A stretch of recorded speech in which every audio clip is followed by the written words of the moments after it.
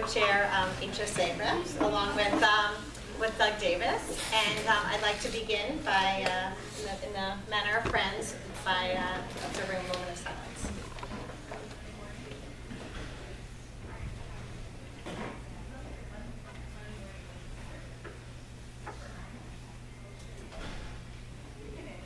Thank you, everyone. Um, we have a full agenda, and we are thrilled to have. Oh, okay. Um, we have a full agenda. Yeah. Okay. I would love to start by introducing Anya Wivides, who's going to speak to you about the Parent um, Ambassador Network for Admissions. I just want to take two seconds of your time since I have a captive audience here.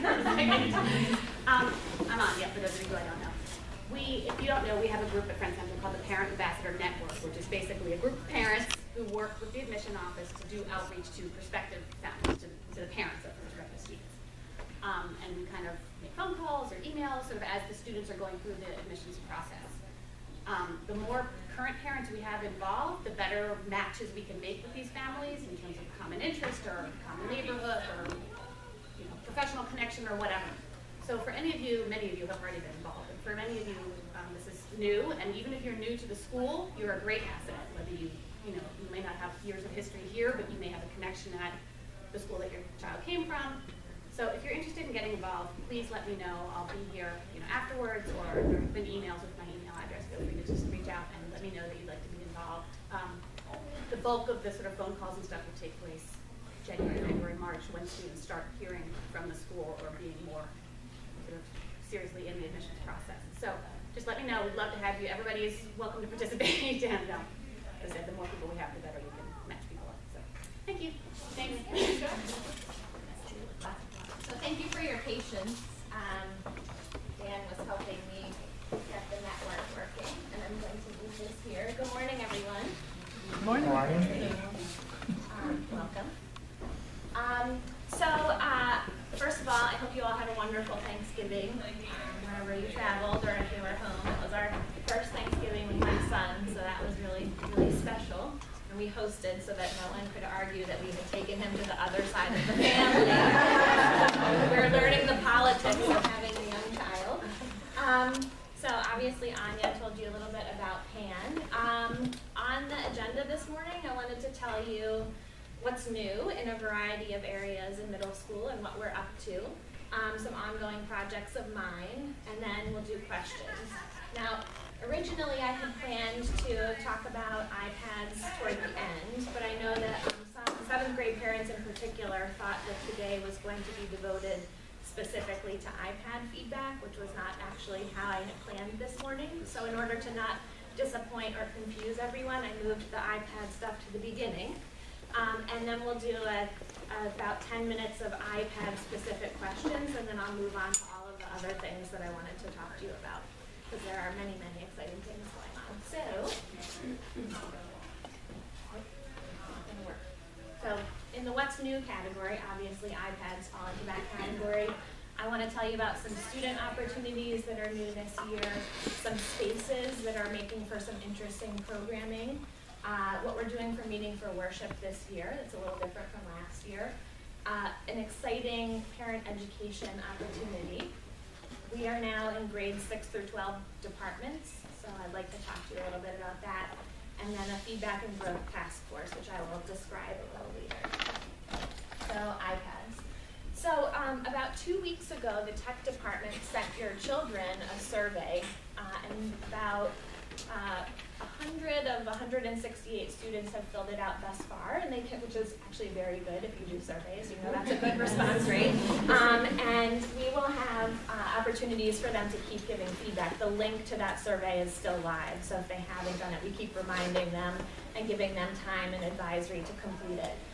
But the basic feedback that we've received is students are feeling organized and fairly confident with their uses of the There are tons of thumbs up, particularly for notability, the ability to write on a document, a PDF, and uh, especially for math, that's been very, very helpful. We didn't have that capacity with the Chromebooks, for example, last year, and that was a major issue. Uh, the kids are finding the projects and assignments interesting. There's a variety of apps being used, so we asked them to identify the different apps they're using and that they like, and there was a lot of variety in that. They're liking Google Drive for producing and storing their work. And they all said that the tech support has been really wonderful. Vicki Schwobel, who works in our library, is the instructional coordinator for middle school. And she's been coming to every single assembly and doing tech support and tips. And so I think students are feeling like they can also go to her anytime. So she is a really, really wonderful asset. She was going to be here, but she's actually out today. So that's, those are some general themes in the feedback. So feedback in terms of issues or difficulties that students are having. Um, they told, they identified a bunch of places where the network signal needs boosting, where they're having difficulty, so the tech department is on that right away.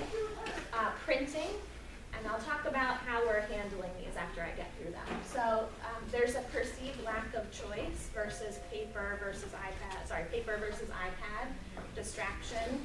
Uh, the haiku calendar is a source of frustration for students, and I see parents nodding in recognition. I'll talk about parent feedback as well. Finding assignments, so getting from where the assignment is in haiku to wherever the actual assignment sheet or um, worksheet is and then the timing of assignments being posted. So on Monday, we had an in-service day for teachers, and we actually spent half of our time as middle school faculty thinking about these very issues. So I just want you to know that we are still receiving feedback, but we're already addressing these things. So I'll tell you about each one. So printing. So as a middle school faculty, we are not going to require any assignments to absolutely have to be printed. So if there's a poster, obviously that's a little bit different. But if students are handing in something that was produced on the iPad, we're not requiring them to because it's just too difficult either at home or here. And so we're having them submit electronically. If they want to submit it in a printed version, that's great. So we're trying to eliminate that issue, and I think we have. Um, I think teachers have not, uh, students feel like maybe there's that they have to use the iPad for certain things.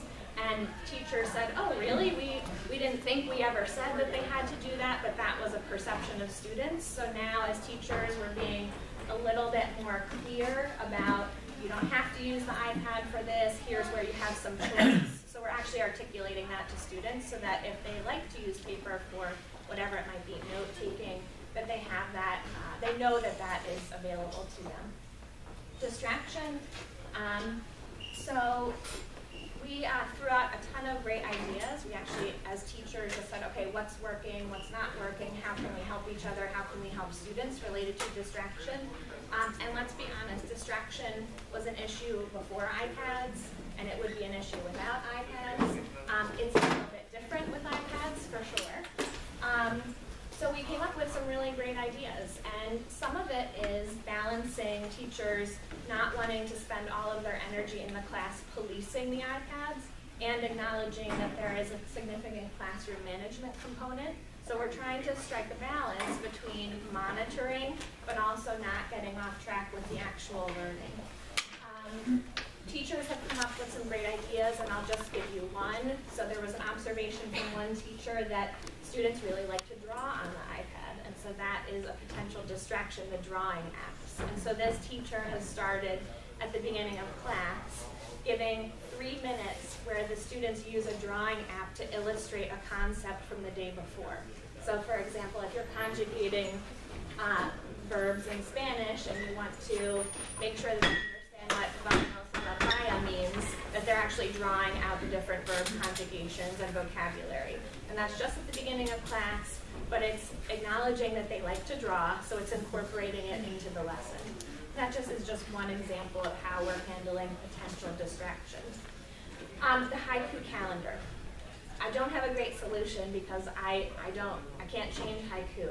But what we are doing is in the next week, Diane Foreman and Vicki Schwobel, Diane Foreman is our middle school learning specialist, are going to work with every grade to help look at the calendar and try to navigate it a bit, a bit better. So we're doing really specific direct instruction related to the calendar, how do you manage this, how do you get the assignment view into your brain about what does this mean for my actual week.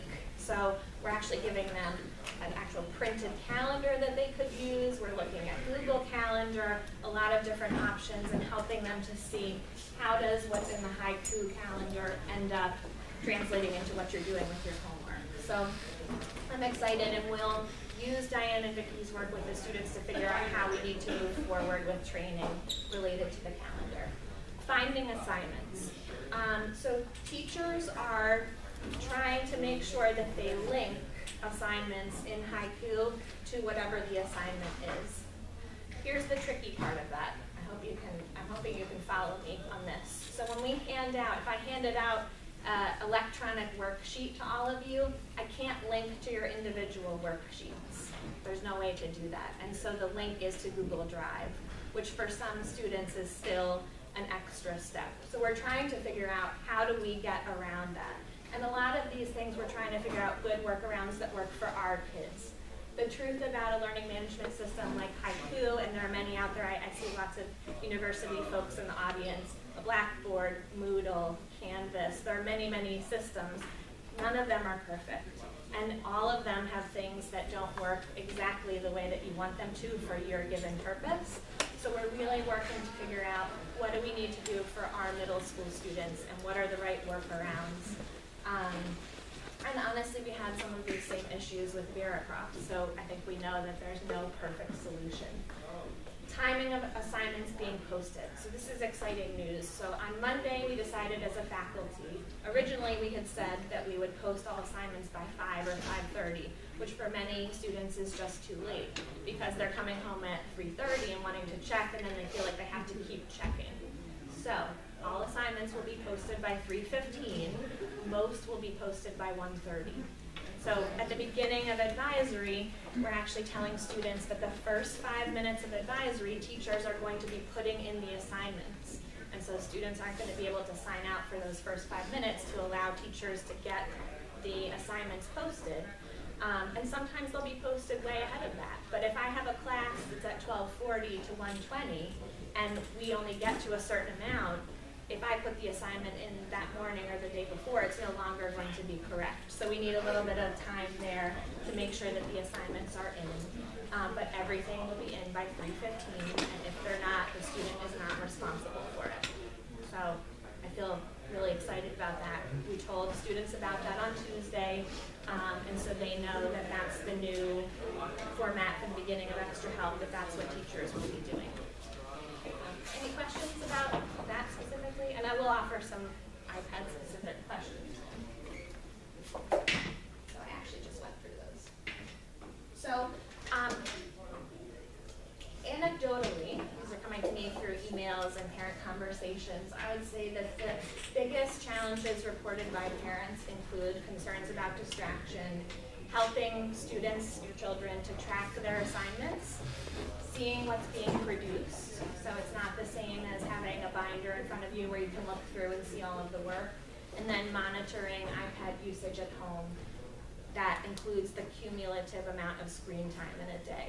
So um, this week, actually tomorrow probably, you are going to receive a parent survey similar to the ones that students received and I'm asking that you fill it out and either add to or elaborate on things that you are facing as parents so that then we can gather all of that feedback, not just the feedback I've heard so far, so that we can then address some of those issues.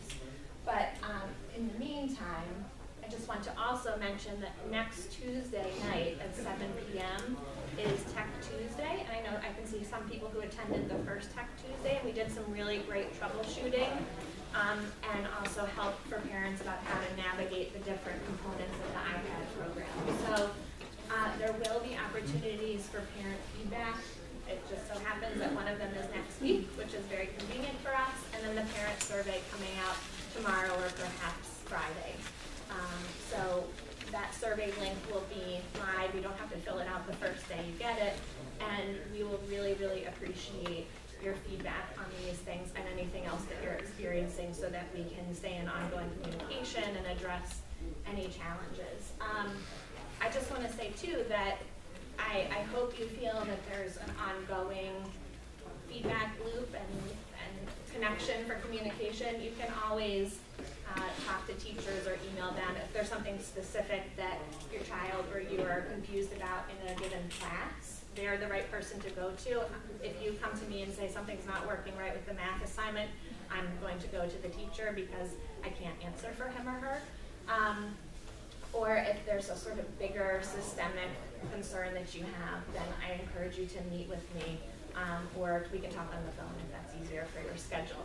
But that's really, really important for us to stay in communication, and then also for these formal opportunities for feedback that you feel like you have that opportunity. So we were going to send the uh, survey out before Thanksgiving, but we then realized that parents were probably dealing with a lot about traveling, so we waited for after. So that's the time difference between student and parent survey, in case you're wondering why we asked your children and then you.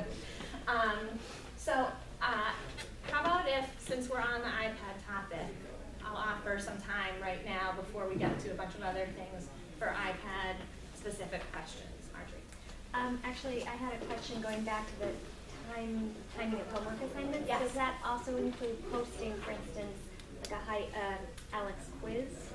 Um, so if that's part of their homework, will that be linked up at that time?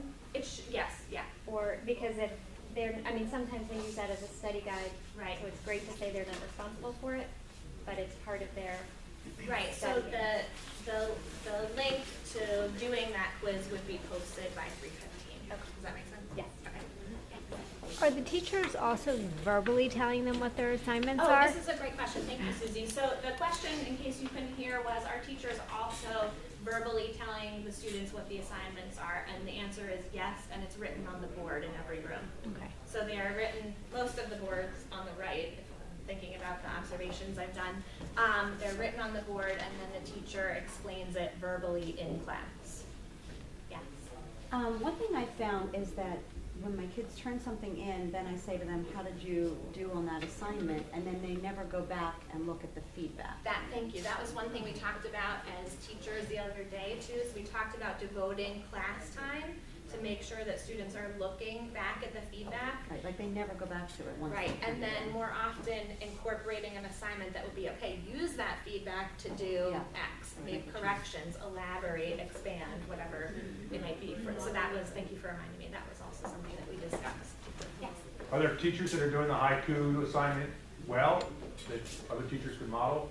Yes, and actually, um, in particular, we, so we do something in faculty meeting that we call ten-minute teacher. So we have teachers do mini lessons or talk about how they're using technology or different methods of teaching in their classrooms. And the most recent one was actually Padre Barry talking about how he's using haiku in some really interesting ways.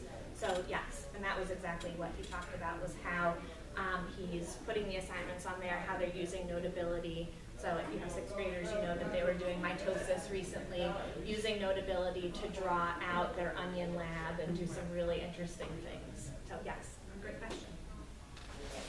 Um, Jacob mentioned that he, that uh, iPads are not, not allowed to use iPads very much in breaks. Yes. Which I support. Yes. Uh, but he said, but he used to be able to do his, some of his homework, finish math problems, math problems, et cetera. So I was wondering if there's something like, you know, a room where there's a teacher in the room where kids can go during those periods to work, to do work. Yes. And if that's enough light.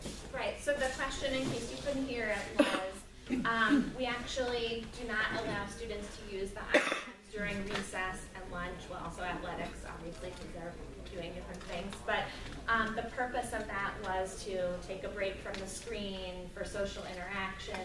Now, the challenge is if a student wants to complete work during that time or show a student, another student what they've been working on, if they're collaborating on a project, there is a little bit of a challenge there. We've had some students say, well, why can't I be working on work then? So we're, we're navigating that, but um, we really try to discourage them because we think it's important to go out and play. We think it's important to get a snack, take a break. So it's a balance for sure, and we're, we're still figuring it out.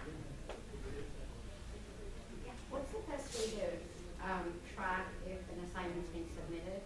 Like Mhm. how, because electronically, it's very hard for us to know if something's been, like as a parent, if something's been submitted, and to see how they did on it. Yeah, so I think the best way is to, you all have access to Google Drive, so that's one way to do it, is to go into science and see the assignment. One would be to have your child show you the assignment. And then in haiku, there, there should be a oh, way. Let me see if I can get tech to make a little video that we could send out that would show you how to do that. Yeah, does, do you see the videos that Vicky posts? Have people been watching them? They're really great. Okay, and just the facts this week, I'll put another link to the parent site because she does these great little instructional videos that have screenshots and show you how to do things step by step. So I will ask her to do that. Lydia, can you remind me at the end to ask her? Thank you. Yes. I, um, I wonder if there's a way, as you mentioned earlier, I think we all would agree that there's no one system that does everything you want it to do. But right now, it seems like we're using three or four or more systems, and everybody who's using them is using them differently. And I'm wondering if we could just go back to something much simpler and pick one, so that you don't have to navigate back and forth among the school website, Haiku, Veracross, Google Docs, and get lost somewhere in between. Especially for those of us who are not really tech savvy. Yeah, so, so the challenge with that is, um, so let's just take the example of Veracross. Um, if we're exclusively in Veracross, we still have to have Google Docs, right? Because you can't produce work in Google, in Veracross, rather. It's just a, a management system in terms of assignments. Um, so we still would have to have Google Docs. And then there are other capabilities of something like Haiku. The whole reason we're using Haiku is it allows teachers to build the class web pages where all of the content would be. So if we were to go to just Veracross, we wouldn't have that capability. And so I, I absolutely hear what you're saying. We actually tried to streamline this year by just using Haiku. You'll remember last year we were doing Haiku and Veracross, and that was a real source of, um, of concern and frustration for parents and kids, so we actually streamlined. Um, but we still have the same issue, which is that if you're talking about students producing work, they can't produce work in haiku. So this is the kind of conundrum. There isn't a great solution. What we're trying to do is figure out and keep figure out what we have now, trying to make it user friendly for students, and I think we'll keep working. So I met with four four Friends School middle school principals a week or two ago, and we all talked about all the different systems we're using. Everyone is using a different system, and we're all having the same difficulty in that in that area exactly. So um, it's not it's not just our issue, and the good news is that I think we've streamlined a bit, and we'll continue to work on how we can make it fewer fewer things to navigate. But I mean the all of us probably experience that in our work lives, we're navigating a lot of different things too. What you can do in Google Docs is very different from what you can do in Excel um, or Google Spreadsheets versus Excel. So some of it is the reality that we're all using a lot of tools because we want to be productive and use the tool that's best for whatever purpose. So, but I, I really understand what you're saying. We are thinking about how to do it better, and we're also looking at different options. Just to follow up quickly on that, is there a way that, uh, maybe I've missed this, maybe it's already out, is there a way that you can have like a, a key, a Yes, key page where, actually. what- yeah, if you're looking at this, and you need to get to this, Yes, how to do actually, we have that key, and it's called the technology cheat sheet for parents. And I will, um, we handed it out at um, curriculum night, um, and I will be happy to send it out again in just a effects. Yeah, sure. It's also on that parent one-to-one website that I talked about. There's one for students and one for parents. So how students should navigate the different um, portals and also how parents can. Especially for my son, but it's difficult on the iPad to have any type of a spell check or a Yes. thing. Is there any way of incorporating something that would give these kids a little highlight of what they gotta do? For spelling? Yes, I mean, so Google Docs, that's partly why we want them to use Google Docs, is that it does, it does do spell check and help them see. Not on the iPad? No. Let me ask Vicky about that. Yeah, 'cause they don't get any highlight. the language arts teacher recommended to me for the Jonathan Perfect Speller is to type it in on the computer, in Google Docs and then it will Oh. Mm-hmm. do the spell check and then cut and paste it back into the. Yeah, iPad or it does, Like, it put it on the does. computer It's interesting in the but not on student survey, and I, I think I'm in the general vicinity of the statistic here, but, um, the students reported that seventy-five percent, that they, seventy-five percent of them said that they use a computer and the iPad. So a lot of them are going back and forth for different purposes, or because they wanna use a computer, I mean, there's lots of different reasons, but that's a, that's a great How was your experience in middle school informing the upper school? Okay, great question. So the question was, um, how is our experience in middle school informing the upper school and vice versa? Um, in upper school, they are just using Veracross, but also upper school students are navigating those same number of things. So they're using Notability, they're using Google Docs, they're using different apps and programs. So um, we're all thinking about how could we streamline, or perhaps in upper school, I think there's an understanding that students who are a little bit older can navigate those things a bit easier. So there's a interesting question of, well, perhaps middle school students need something a little bit different, but we want them to be ready for that transition. So that's something that we're thinking about. Um, we we have talked about, we've told upper school teachers how we're using haiku so that they can get a sense of it. We have um, been asking them, this is getting to the departments, asking them how they're using the different apps um, in their departments so that we can start doing it in middle school. So for example, um, and Shannon. Right. It's okay. Everyone else, I think it's a moving battle.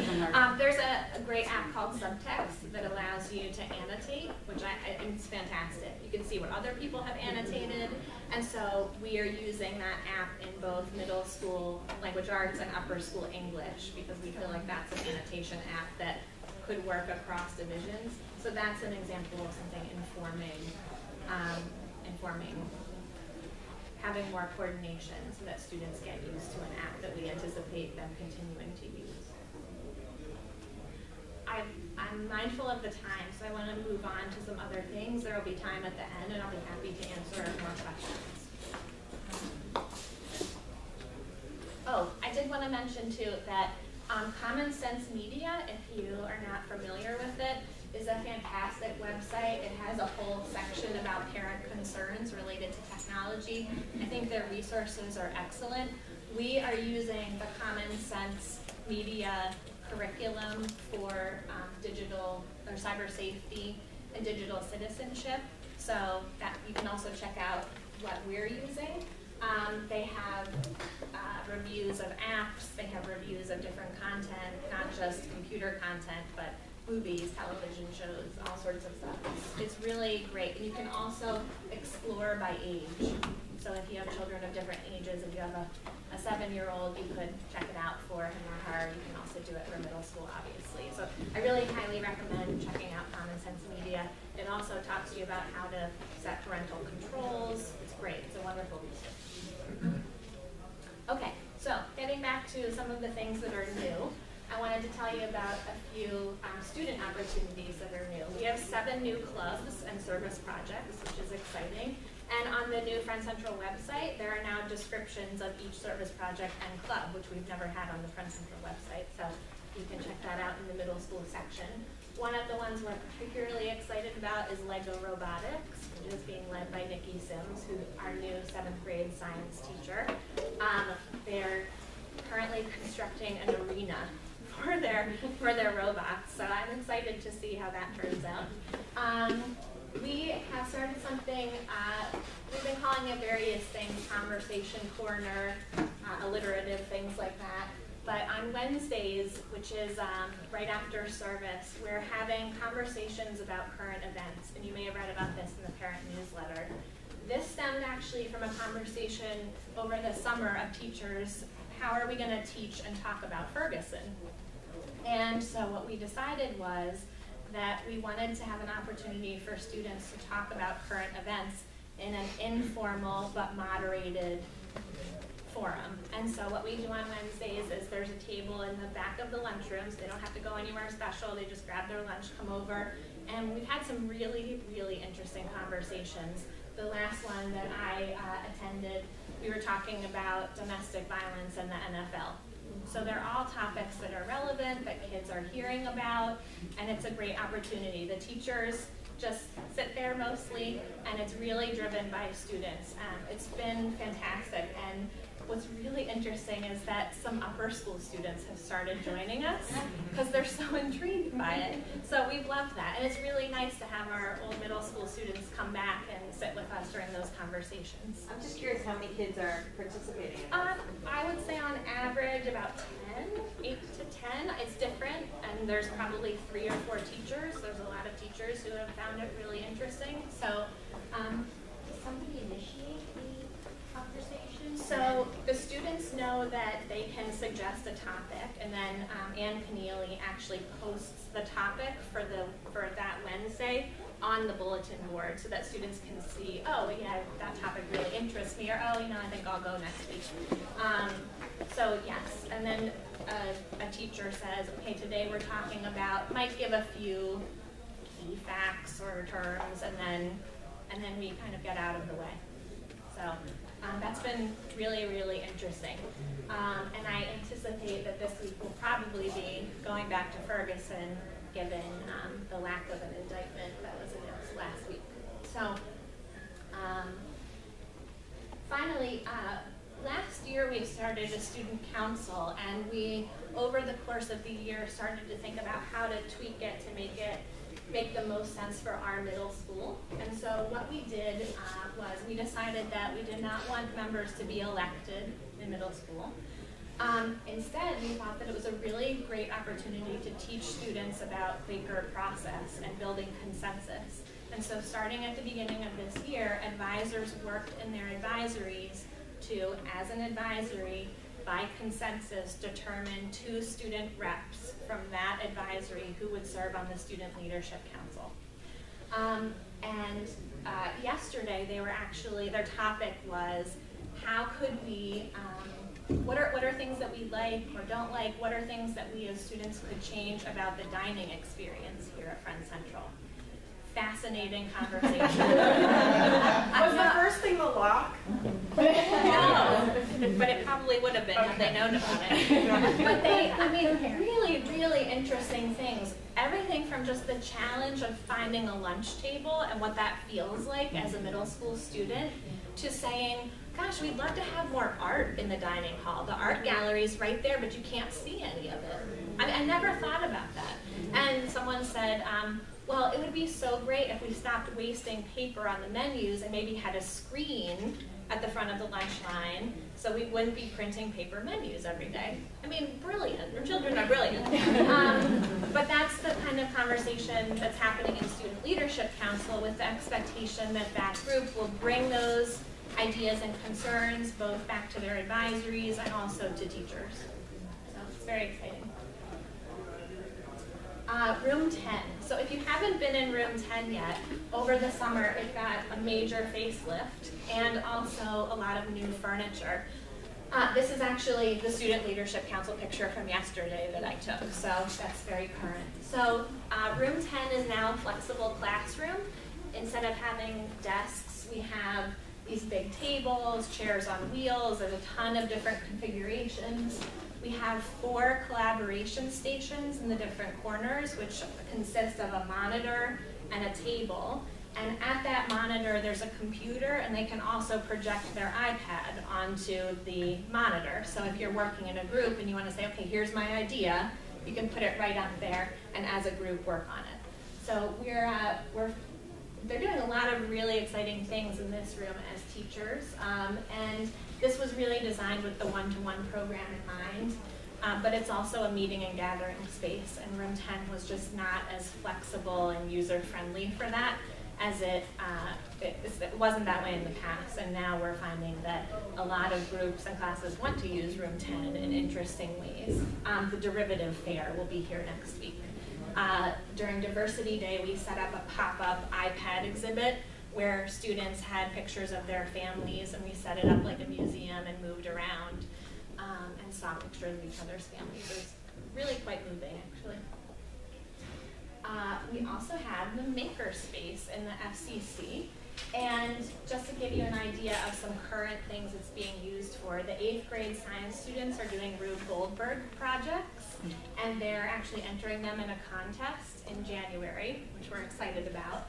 There was a rumor going around that maybe one of them should end in like a bucket of confetti being dropped on Craig Sellers. that might just be a rumor. Um, the sixth grade is using the makerspace for their derivative projects, and so uh, that's an exciting new addition to the derivative project, which has been a wonderful project for many years.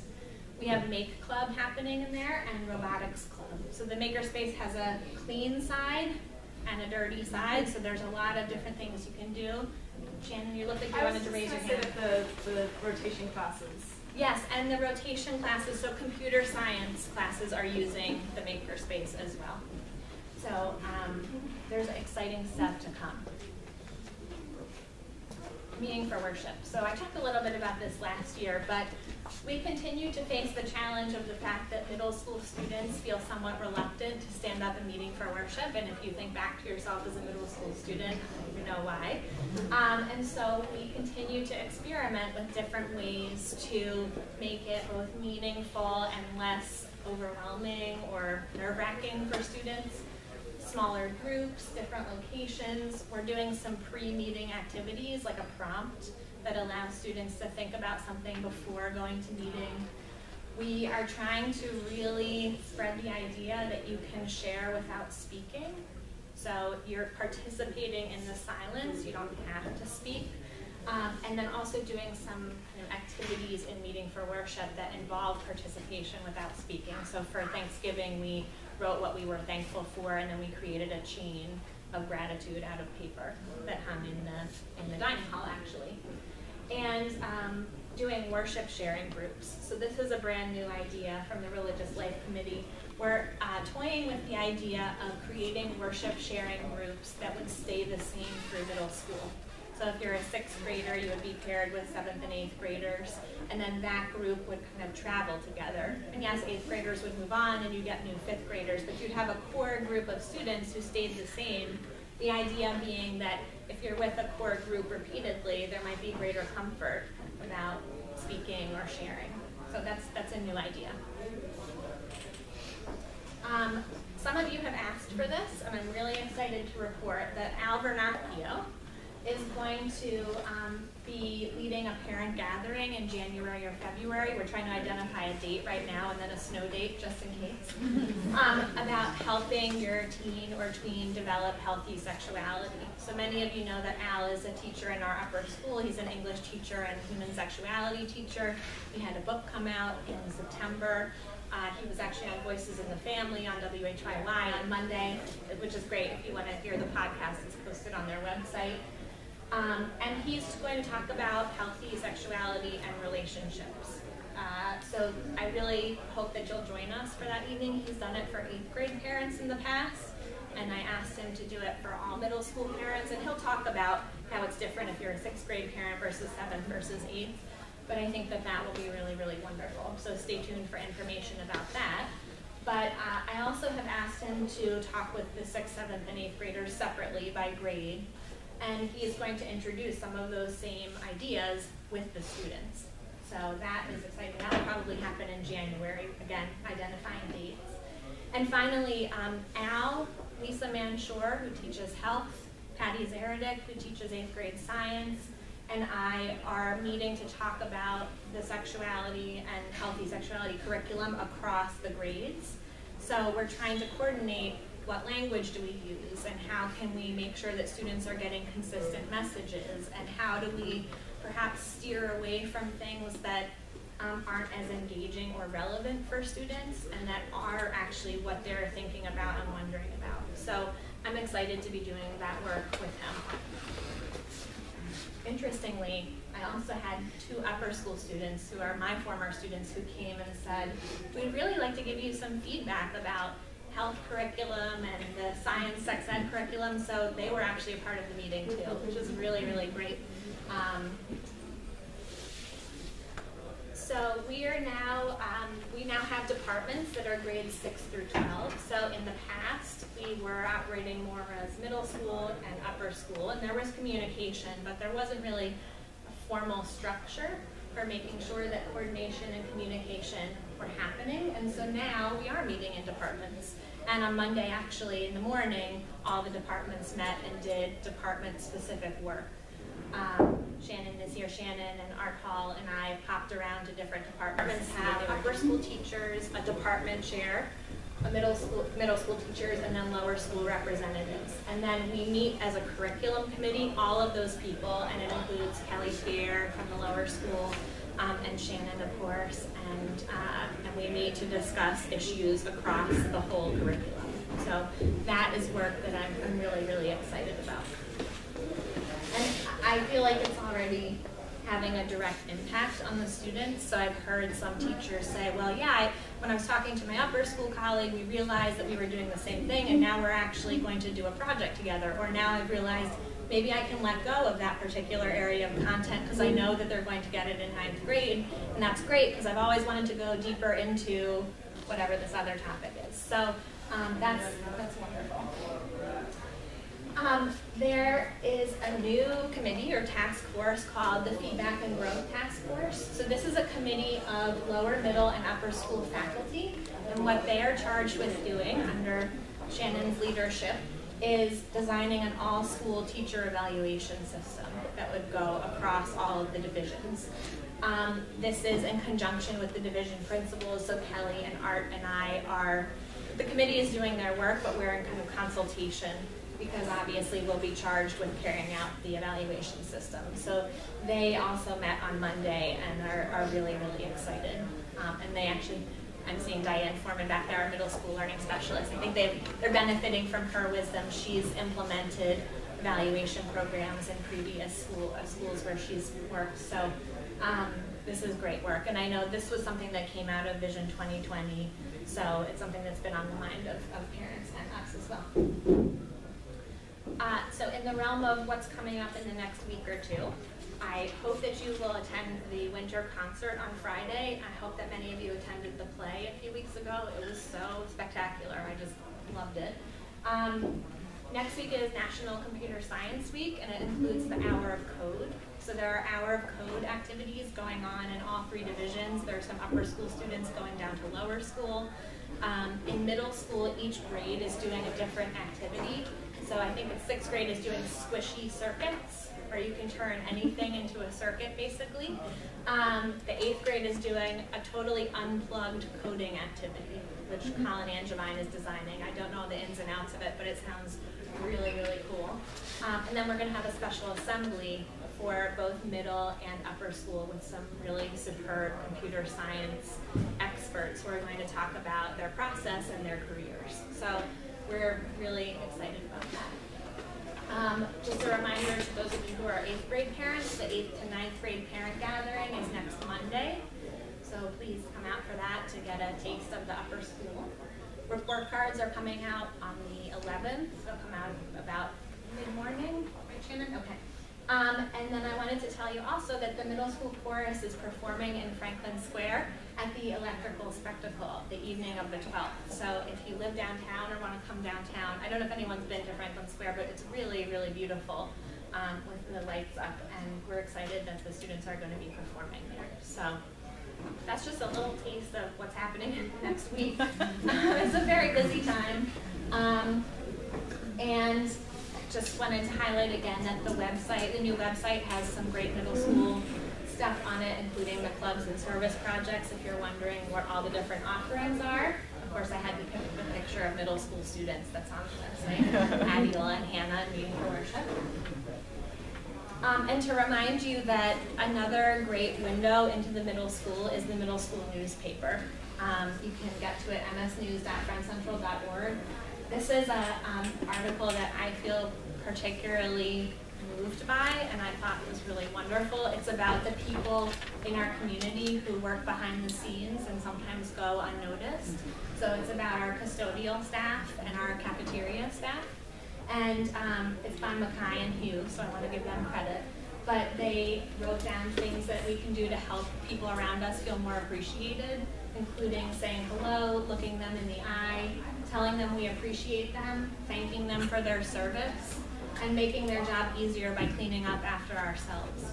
So if you ever see a middle school and you're thinking, oh, teenagers are so difficult and so self-absorbed and all those things, I mean, this is a really good example of the wonderful side of middle schoolers too, that they are thinking about those things, and I think that's part of what makes our community really special.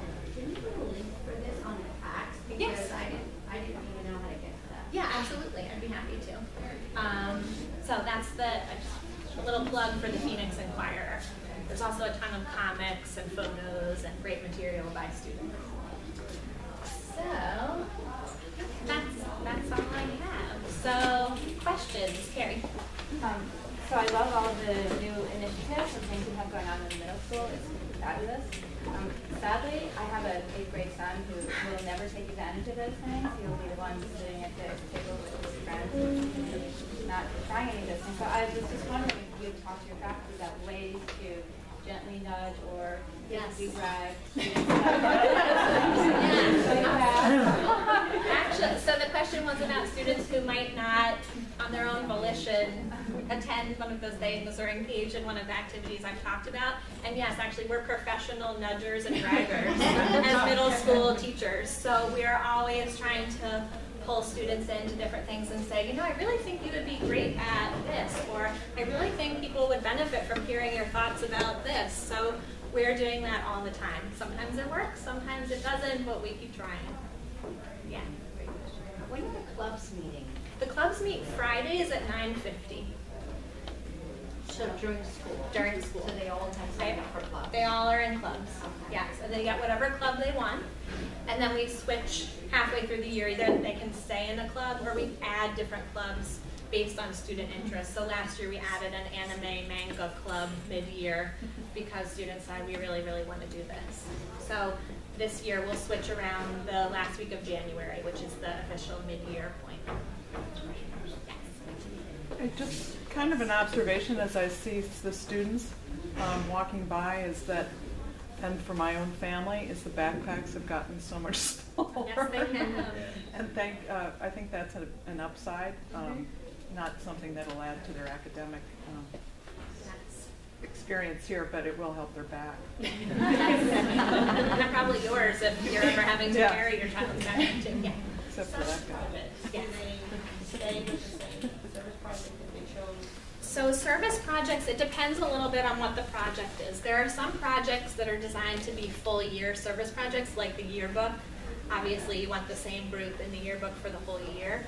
There are other ones where we ask students to make a full year commitment because of the relationships that they're going to make at different organizations. So for example, Carousel House, where our students walk with people who are visually impaired. We ask them to stay in that service for the whole year because we want them to form a lasting relationship with the people there.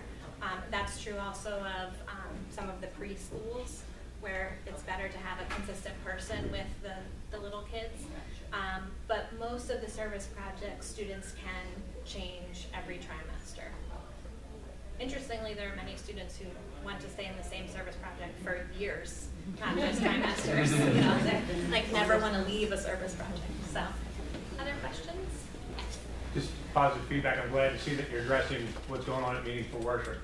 My daughter's giving feedback that she's not certain why she's there Uh-huh. for that length of time. Yeah. what's so interesting about Meeting for Worship is um, I'm, I'm an alum of the school too, so I'm saying this with my alum hat a bit on. Uh, middle school students do sometimes have a difficult time seeing how is this helpful or meaningful or relevant to me.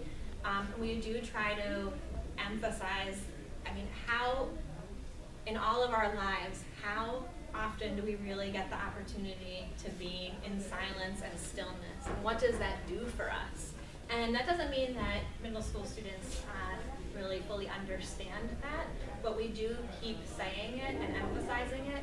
And when you get upper school students, I think it starts to crystallize. And then when I talk to alums, um, I, there's a group of alums who are from my class that I see pretty regularly. We're still friends.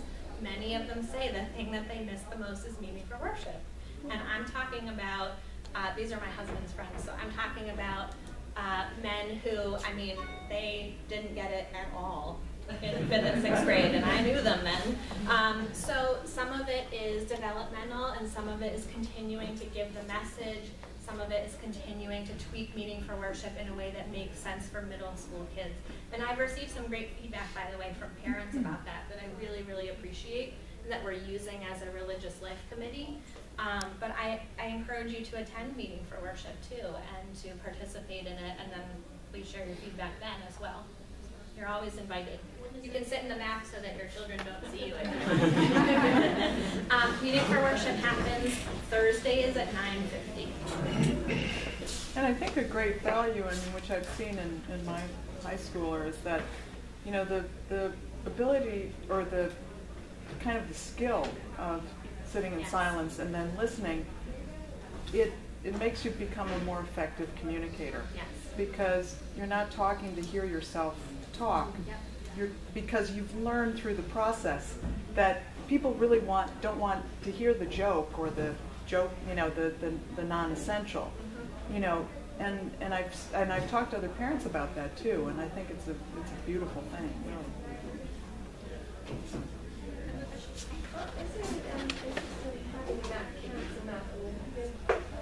Yeah, you know, uh, the question was about math counts, which is a math competition. So, yeah, last year that was a club. Um, and then there wasn't as much interest in the fall, but it will probably be brought up again for the second round of clubs to see if students are interested. Um, so it's a little bit dependent on the, the numbers. Yeah, yeah, but we would be happy to do it. Chrissy Fitzpatrick ran it last year and they really enjoyed it. Yes. Is there any talk of doing any clubs in the afternoon? I noticed that a lot of kids here at three to four. Yeah. The question was about clubs in the afternoon, and there has been some talk about that. I think the challenge is that middle school students have after-school sports, they have after-school religious obligations, um, they have after-school, like outside-of-school sports teams. So the question is how to do it in a way, oh, play practice, that wouldn't add more pressure or add one more thing, but be an opportunity. So Shannon is nodding her head. We are exploring that possibility.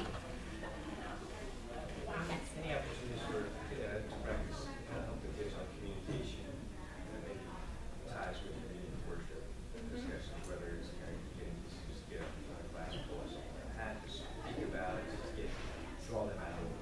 Yeah, so uh, the question was about ways of drawing students out to get them to speak up in front of a group or in class. And different teachers do different things. So um, I know some teachers do something that I did as a teacher, which is if I knew that a couple of students were particularly reluctant participants, I would actually give them a heads up at the beginning of class or even before and say, hey, we're going to be talking about this, or I'm going to ask this question. I would love to have you raise your hand. And just that extra time to think about it takes some of the anxiety out of popping up right away.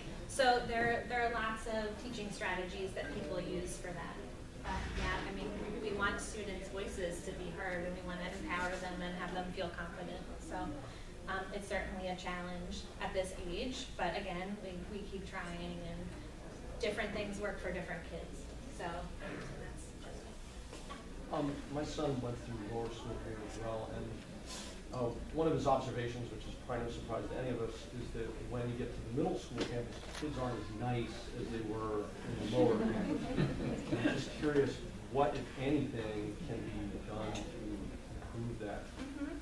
Well, I think some of it is the tone that we set as a community and how we clearly, um, and at the very beginning, define expectations about what kind of a community this is and how we treat people. Does that eliminate students from being or unkind?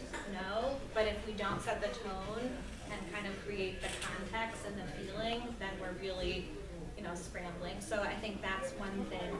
Um, I think a lot of the um, the unkindness that we're talking about stems from two things. Um, one is students are trying to figure out who they are, and sometimes trying on different persona, a different persona, or testing something out a little bit can come out in the form of not being as kind. Um, so that's one thing. How do we help students and navigate them figuring out their own identities, and that's that's a challenge. The second thing is that friendships really change at this age. So friendships that have been long-standing friendships, all of a sudden something gets shaken up, um, and those friendships don't feel the same for kids, or they're again testing out different relationships, and so friendships can come under a lot of strain, and that's where we see um, students not being as nice to each other too. So in the advisory system, we want advisors to be working with students and being observant of dynamics that are going on with different groups. And we try to prevent it, but really what we feel like we do well is we try to address it. Now, students are incredibly savvy about not saying or doing things when a teacher is watching um, or is incredibly aware. I'm sure they're like that with parents too. Um, and so, again, some of it is creating a culture where there's um, support and an expectation that students will talk to advisors about difficulty that they're having so that then we can address it if we didn't see it. But yeah, that is it's a huge it's a huge challenge of middle school. The the good news is that um, at this age, they are really still open to talking about things with teachers. And so, uh, I mean, I subbed in the high school, and it's a very different story there. And um, I don't mean this high school, but just in general, that once you get past a certain age, it is harder to do that one-on-one teacher-student work. And so we feel like we have the ability to do that. And I think also at Friends' Central, one of our greatest assets is the relationship between students and their teachers. And so that is a really great foundation to start with. I also think that students are more, um, have more empathy than we sometimes give them credit for. Sometimes there's a bravado or there's a facade about being a middle school student that it just takes a little, a little chipping away to get beneath it. Um, so as teachers, we know that that's the case. We know that we can get to it by doing good and ongoing work with students. Does that answer your question? I just like to reinforce that. I've had the same issue with my own son and some of his peers, both uh, Central peers and uh, peers from you know other groups that he's a member of. And uh, I had the same concern, and it just seems that it's something that's happens to boys that age. Uh, and as soon as I was concerned about him doing it, I said, wait a minute. I, I used to do that, and, and it really never goes away with your guys. so I, I don't see it as something that's you know special here. Right. It's just something that happens, and we all have to try and deal with it. Yeah. And the stakes are very different from Yeah. lower to middle school, right? That, that when you're in lower school, some of the difficulties you have are about sharing, right? Or about the playground. And I'm not saying those things don't matter or aren't really um, upsetting for kids, but when you get to middle school and the stakes are your whole friend group, or if you're going to be invited to a sleepover, or or if you're going to be included in something that really matters to you, the stakes are just more. Uh, I think they're greater and they're a little more intense for for many kids. So, Shan. I just want to say, I think it's also important that if you, if your child is struggling with that, to make sure the advisor knows. Yes. And, and certainly we know a lot, but there are kids that are really good Yes. at acting super happy. And, you know, if, if a parent calls and says, you know, they're really struggling, we can keep the extra set of eyes and make sure that we're doing at least what we can. We can't solve all of it, but we can try. But I, I think it's important that if you're struggling at home, we want to make sure Yes. know. Yeah, thank you. That's a really important point. So I, I see the time, it's about nine twenty, and I know people need to get off their morning. I'm meeting with a prospective parent at nine thirty, so that's exciting. Um, I just want to thank you for coming and thank you for your great questions and feedback, and I hope you'll keep them coming. Um, and again, I hope you'll fill out the survey, and if you'll consider attending Tech Tuesday at Kansas. Shannon, where is Tech Tuesday next Tuesday? Next Tuesday, I can bring the sun on, I'll double check, I don't just the facts, but I think next Tuesday night. It's in the evening, so we're rotating mornings, evenings, both campuses to try to make it available to everyone. So next, this month is in the evening. Great. So, thank you so much for coming. Travel safely Thank you. today. Have a Thank great you. day.